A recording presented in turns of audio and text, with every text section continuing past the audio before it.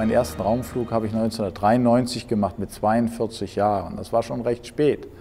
Meinen zweiten Raumflug, bei dem ich EVA gemacht habe, habe ich 15 Jahre später gemacht. Für mich war wirklich innerlich äh, die, der große Respekt vor der Aufgabe, wie wird das für dich persönlich sein, wenn du von 350 Kilometer auf die Erde schaust, wirst du Schwindelgefühle kriegen, wirst du das Gefühl des Fallens haben. Als die Luke aufging und ich rausschaute, da war mir sofort klar, dann bin ich noch ein Stückchen näher ran. Nee, das ist überhaupt kein Problem. Das ist einfach nur schön. Glauben Sie mir, da sich, haben sich mir die Nackenhaare aufgestellt. Äh, das war einfach fantastisch. Dann das Aussteigen und dann zu lernen, äh, meine Güte, das ist eins der wenigen Sachen, die in der Schwerelosigkeit wirklich einfacher ist als im Training. Ein kleiner Schubs mit dem Finger reicht. Und dann natürlich alles, was man in der Schwerelosigkeit an Bewegung induziert, das geht unendlich weit fort. Das heißt, man muss es irgendwann wieder stoppen. Man kann so viel falsch machen. So viel falsch machen. Und wir haben so lange da trainiert. Und äh, nun stellt man fest, unser Training war schwerer als das eigentlich, die eigentliche Arbeit im, im Weltraum.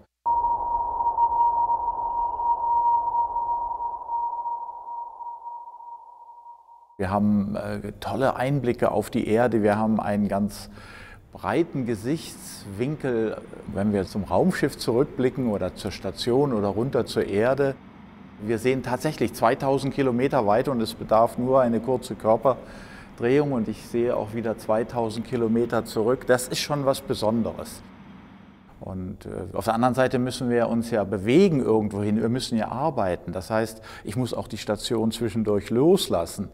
Äh, das hat natürlich ein gewisses Gefährdungspotenzial und das heißt also, ich fliege mein eigenes kleines Raumschiff. EVA ist etwas, wo wir sehr viel den Standard trainieren, weil das schon so anspruchsvoll ist, dass das äh, und dass man eben nur unter Wasser trainieren kann. Aber wir haben auch bestimmte Runs, bestimmte Trainingsläufe, wo wir explizit den Notfall trainieren.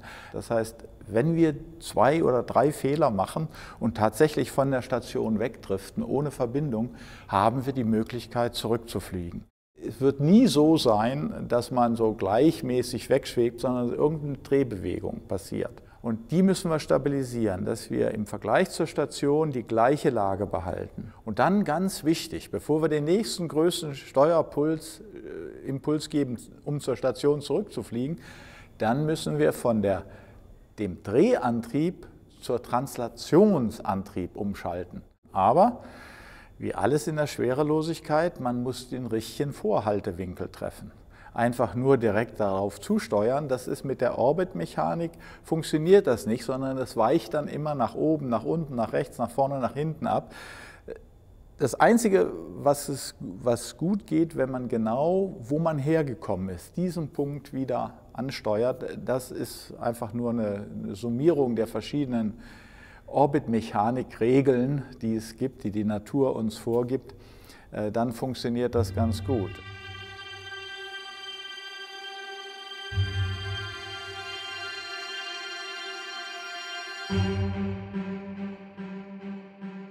Der EVA-Tag oben im Orbit dauert 18 Stunden.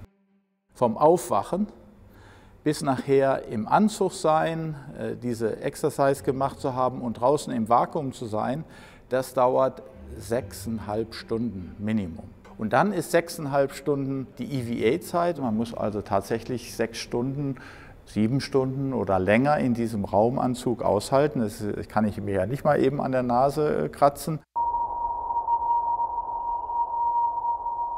Die Wärme ist da oder Kälte in Abwechslung von 40 Minuten plus, bis plus 150 Grad bis minus 100 Grad und das muss man ausgleichen, früh genug erkennen, so ganz nebenbei eben mal die Kühlung verstellen.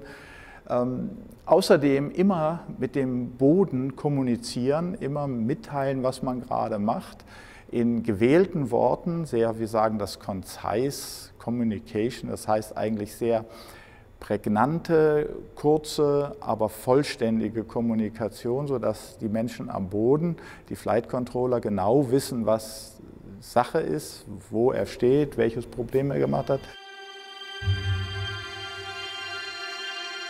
Alexander äh, macht eine vielfältige EVA. Es geht darum, äh, ein Pumpmodul äh, wieder in den Vorratsschrank oder auf die Vorratsplattform äh, zu stellen. Das muss dort runtergenommen werden. Das ist auch sehr schwer. Das heißt, Alex wird in dem Roboterarm mit den Füßen am Ende des Roboterarms äh, stehen, wird dieses Pumpenmodul losmachen und dann mit den Händen transportieren zu einem Vorratsplattform, wo die dann äh, zwischengelagert wird.